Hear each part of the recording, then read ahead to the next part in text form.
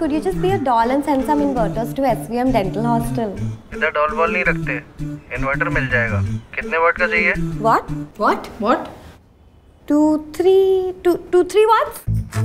Ajay? Hello? Hi? I think cut gaya guys.